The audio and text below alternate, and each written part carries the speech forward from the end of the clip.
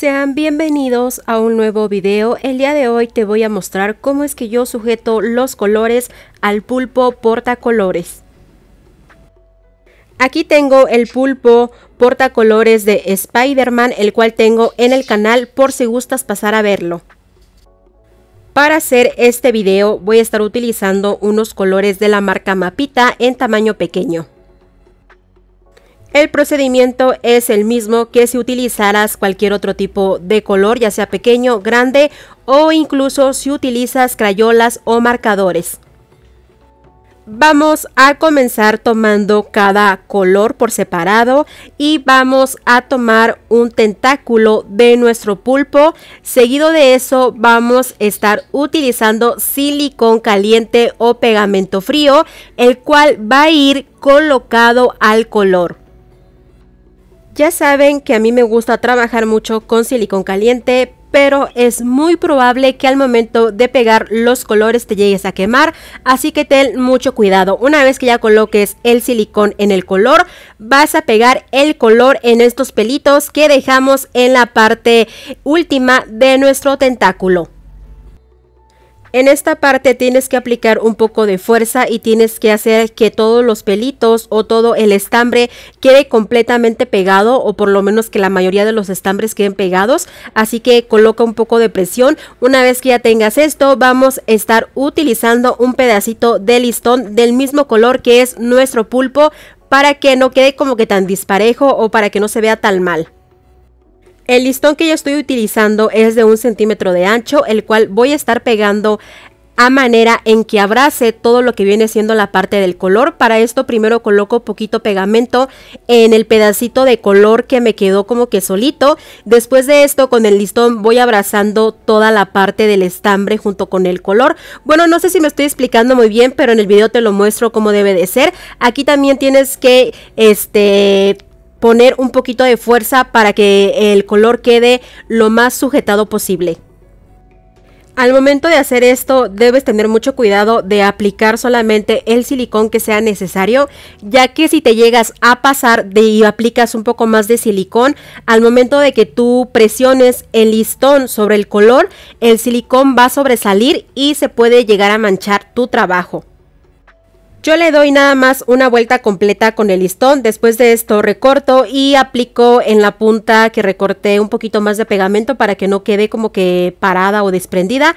Ya una vez que tenga esto, si te sobró este como que pelitos del pulpo o del tentáculo, los puedes recortar pero de preferencia te recomiendo que lo recortes antes. Ahorita te voy a explicar en el siguiente color que voy a pegar para que tú notes la diferencia de cómo queda este si lo haces de una manera y cómo queda si lo haces de otra manera.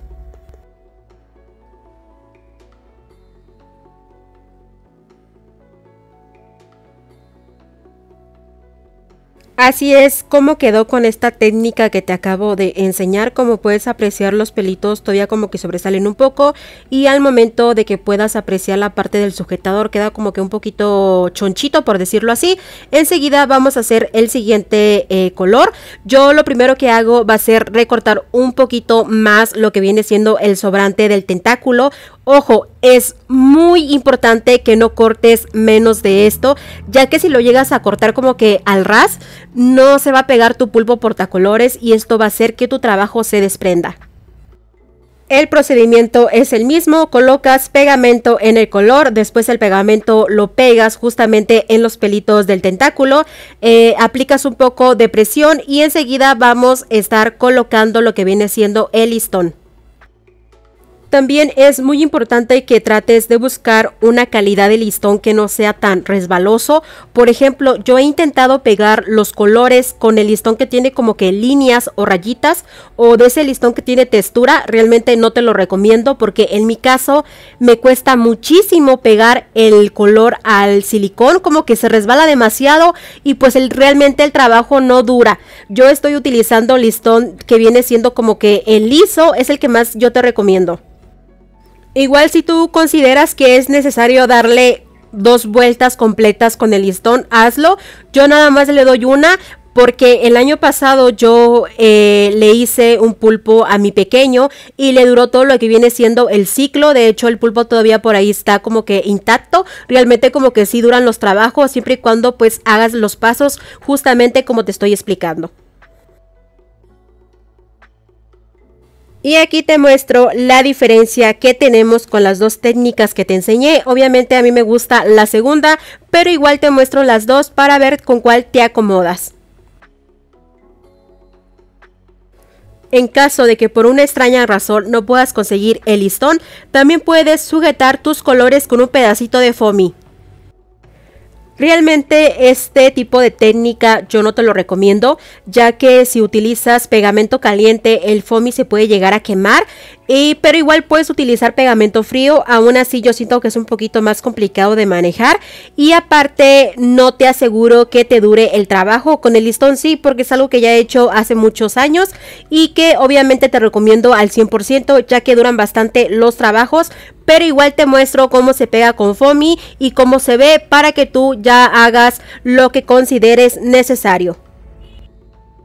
Igual aquí podemos utilizar el foamy que viene diamantinado o el foamy que viene liso. Yo te voy a estar mostrando los dos para que veas cómo lucen.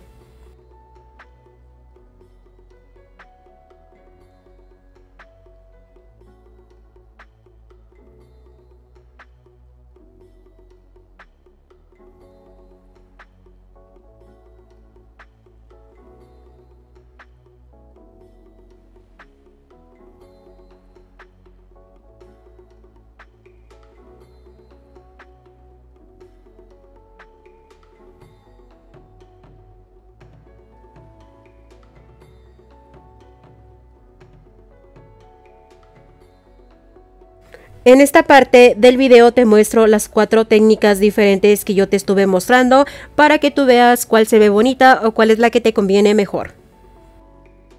Recuerda que en el canal tenemos diferentes videos de pulpos portacolores, ya sea de personajes o sencillos por si gustas pasar a verlos.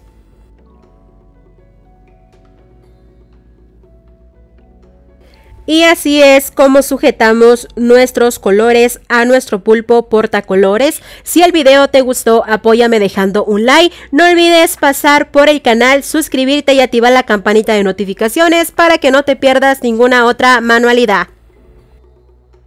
Yo soy Mitzi, espero que tengas un bonito ombligo de semana y por supuesto que te veo en el próximo tutorial.